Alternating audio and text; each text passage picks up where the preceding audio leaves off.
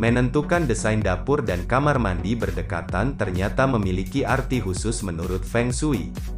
Selain itu, tata letak ini banyak pula digemari oleh pemilik rumah minimalis. Tengok sejumlah desainnya pada video berikut ini siapa tahu bisa menginspirasi. Menentukan desain hunian minimalis mesti mempertimbangkan banyak faktor. Paling utama, tentu saja pemanfaatan area agar rumah tidak terkesan sempit. Selain ruang tengah, ruang dapur juga harus diperhatikan. Kamu tak inginkan aktivitas memasak atau mencuci piring terganggu karena desain dapur yang semrawut? Nah, menurut Feng Shui, area dapur yang dekat dengan kamar mandi dianggap bisa memberikan aura positif lantaran adanya unsur air yang dapat meredam api.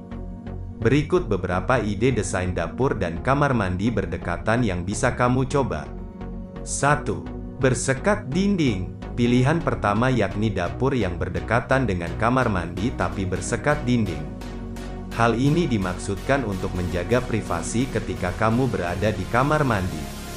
Selain itu, jika situasi memungkinkan adanya aktivitas bersamaan antara memasak dan mandi di antara anggota keluarga, sengatan bau masakan tak akan tercium.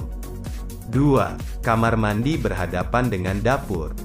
Bertolak belakang dengan desain pertama, gambar kedua justru kamar mandi saling berhadapan dengan dapur. Biasanya, desain ini dipilih guna menyiasati ruang. Meski terkesan tidak terlalu luas, tapi area dapur masih cukup nyaman.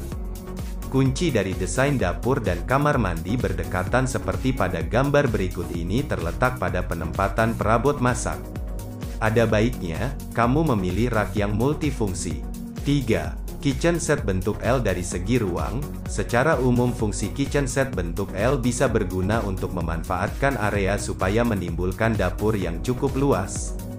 Nah, area tersisa lainnya bisa kamu gunakan untuk membuat kamar mandi. Gambar berikut ini mungkin bisa menjadi inspirasi. Aktivitas dapur diperkirakan tak bakal terganggu, sedangkan di lain sisi, kamar mandi yang menjorok ke dalam juga cukup luas bukan? 4. Tonjolkan kesan estetik. Area sempit di dapur bukan berarti tak bisa terlihat cantik. Kendati cukup banyak perabot, penempatan beberapa tanaman dalam pot serta pernak-pernik hiasan lain akan membuat kamu betah. 5. Desain dapur dan kamar mandi berdekatan semi-outdoor. Desain berikut ini cocok untuk kamu yang mempunyai area belakang cukup lapang. Pemilihan rumput sintetis, nuansa batu alam, serta pembatas antara dapur dan kamar mandi menegaskan area yang berbeda.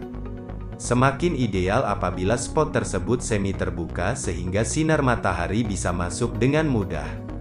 Tak lupa sertakan beberapa tanaman hias agar tampilan semakin asri.